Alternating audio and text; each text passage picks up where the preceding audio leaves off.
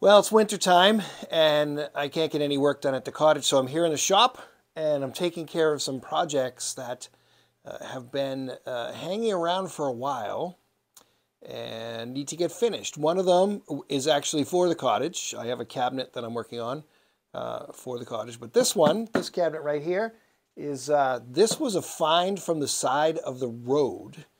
And there are two glass doors. Uh, I'm uh, in the process, as you can see, or maybe you can't see, uh, of stripping the paint uh, from this. This is going to go actually in our house, not at the cottage. But uh, it needs a little bit of work. It's a pretty nice constructed uh, piece. I'm not sure how old it is. Um, I can't see any of the usual telltale signs, like I can't see what fasteners were used uh, or anything like that. It appears to be pine, just based on the weight and the color of the wood, uh, from what I've been able to see so far. So the carcass needs to be stripped at least. Uh, so there was, there was, um, I think it was latex paint on this. Uh, no, I'm sorry. It was it was oil-based paint, and it, and it appears to be exterior house paint. It had all cracked off because obviously the surface underneath it uh, wasn't prepared right. So all of that, uh, I, I started chipping away at it, and then realized I might as well just attempt to strip as much of it off as I can. So that's what we've done. Uh, and so now I'm at the point where this the stripper has all been applied and removed. And um, I'm not going to strip the inside. Uh, I'll just give the inside a, uh, a, a, good wipe out and, and, and a sand so the, the new paint will adhere to it. It's probably going to end up being the same, the same color anyway. Um, so the carcass is done uh, and um, there are two glass doors that go on here, and I filmed a segment earlier uh, of removing the hardware. Uh, this was a an interesting, very interesting affair to try to get uh, the hardware off. There were uh, four hinges, two on each door, and there were three screws on each, or six screws on each hinge, three on each side. Uh, so you can do the math to see how many screws. They were small, and uh, I really didn't have a screwdriver with a thin enough tip on it to be able to uh, get really in, so I had to improvise. But I got all the hinges off, I got the doors off, and I got the, uh, the door hardware off. There was a latch. Uh, so I filmed a segment on how I did that, at least how I got started, so check it out. The first step is to uh, remove all this paint that's gathered around this hinge. Uh, so I can expose the brass screws that are under here. It's got a couple of layers of paint. And I have this uh, dental tool. Where is it? There it is. Two-sided. Uh, it's got a good sharp point on it. And I'm able to kind of scrape the paint away, just being careful not to scratch the brass too much that's underneath it. It's tedious, but it's it's necessary really in order to get at the to get at the screws underneath. It, it's I, I think the one of the lucky things is is it appears to have been painted over with latex paint, so it's coming off pretty easy. And exposing these brass screws underneath. It's just like I said, it's just really tedious work. And luckily, it also appears there's only two layers of paint. So in one sense, I kind of lucked out.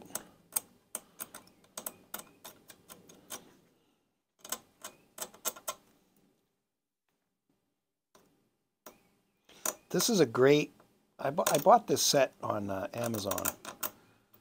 It's a great, it's a great little set to have specifically for this. If you're doing any kind of um, restoration work or refinishing like this, this is this is a fabulous tool to have because there really is nothing else that I've found um, to be able to get into these little cracks and crevices and loosen the screw up. And thing you don't want to do is strip out the screw head because brass is a very soft metal. And it actually doesn't take much to um, misform, deform, reform, whatever you want to say, the screw heads. Um, so this taking this extra time really helps. Uh, I've, I've done one already, which I'll show you in a bit. Um,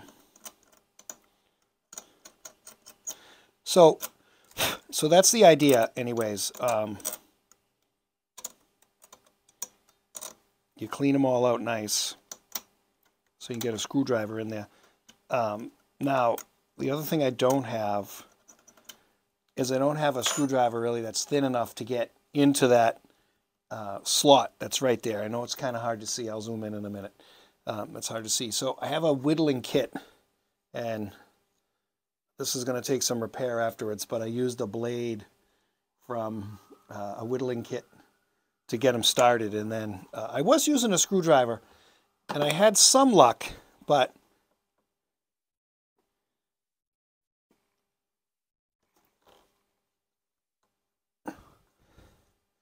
So it worked with this one. All right, I'm going to keep going and then I'll come back and show you where we are.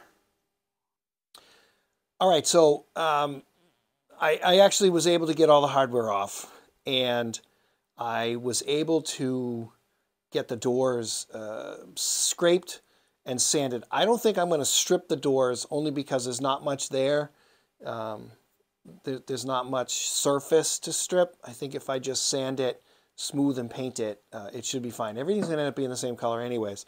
So um, I think it will end up being fine. So um, I'm going to take a, uh, we're going to take a look at the doors next. So hang on, we'll take a look at the doors. All right, so here's the two doors as they uh, appear laying on the bench. They're actually in the same orientation as they were on the cabinet. So you can see where the hinges were. Uh, there was a hinge here, uh, another one here, there's one there, and there's another one over there. And uh, there's a latch in the middle. I just want to, I just noticed this when I laid it down. The, the, the doors are, you know, exactly where they need to be. But look how off the hardware is uh, on the door right there. I just, I just thought that was interesting. So, um, it's hard to tell with the glass. I think there's a little waviness to it. It's really kind of hard to tell, especially at this time of the day what kind of glass it is. And it has it, it wasn't too long ago that it was reglazed. So I'm not going to mess with the glazing. Like I said, I'm just going to sand all these edges down and uh, and and then paint them. Now the hardware is a different story. So here is the bucket of hardware. You can see uh, everything uh, that's in there. This is one of the hinges that was on there, uh, and this is the latch and here's the other. So that's the that's the two latch pieces right there. And then there was a another latch uh, on the inside. So this is all brass and it's all covered with a tremendous amount of paint. So this is going to need to soak. I learned a trick um, several years ago about using a crock pot. You put some crock some water in the crock pot, put the the um, the brass hardware in and just let it steep for an hour or so till it gets up some good temperature and it will loosen the paint enough that you can, uh, it usually just falls right off. It'll peel right off. And um, so that'll be next. All right, so I think that's it for now. I know this isn't exciting as ripping up kitchen floors and sort of all the other things that I'm usually involved in here, but it's been a while since I posted something and I want to get something out. So I'm going to work on this project. Like I said, I have another cabinet that was a record cabinet that we're turning into a linen cabinet. So that's in the works too. And uh, I do have the trim I have to make and the balusters for the porch. So we got a lot of work to do uh, this winter from the shop. So um, th there'll be other videos like this one. So um, Happy New Year, if I hadn't said that yet. Happy 2023. And um, we'll see you the next time around.